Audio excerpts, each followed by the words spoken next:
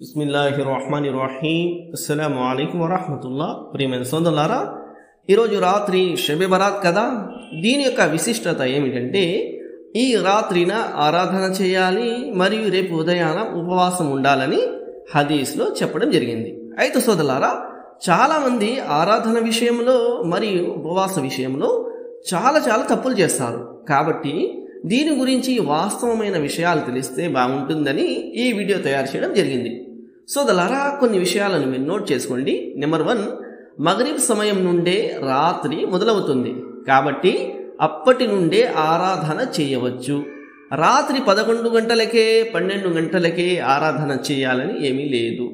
Number two particular ఆరాధన ఏమీ లేదు. మనకు ఇష్టం వచ్చిన ఆరాధన చేయవచ్చు.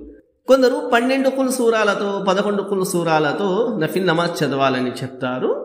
అలా తప్పనిసరి ఏమీ కాదు అలా చెయ్యరాదు కూడా.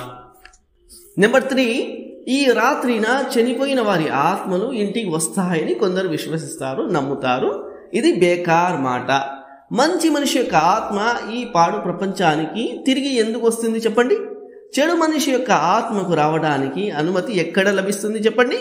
సో ధర్మానికి విరుద్ధమైన విశ్వాసాన్ని పెట్టుకోవడం చాలా ఘోరమైన పాపము. నాలుగు ఆత్మలకు పుణ్యం లభించాలనే ఉద్దేశంతో ఈ రాత్రి ఫాతిహా చేసి అన్నము ఫలాలు బట్టలు వగైరా వస్తువులను పేదలకు దానంగా ఇస్తారు. ప్లీజ్ ఈ రాత్రిన ఈ పని చేయకండి.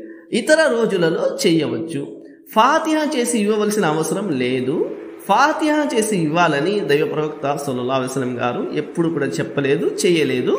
సో ధర్మంలో కల్పితం చేయడం మహాపాపము. లస్మానుతాలకు మన సంకల్పాలు బాగా తెలుసు. మంచి సంకల్పంతో చేస్తే ఫలితం ఉంటుంది. నెంబర్ ఫైవ్ ఉపవాసము కేవలం ఒకటి మాత్రమే ఉండాలి. అది కూడా నఫిల్ ఉపవాసము. అల్లా స్వానోతాల మనందరికీ ఈ విషయాలపై అమలు చేసే భాగ్యాన్ని ప్రసాదించుగాక. ఆమెను. వాహిను దేవా నేను అల్హమ్దులిల్లాహి రబ్బిల్ ఆలమీ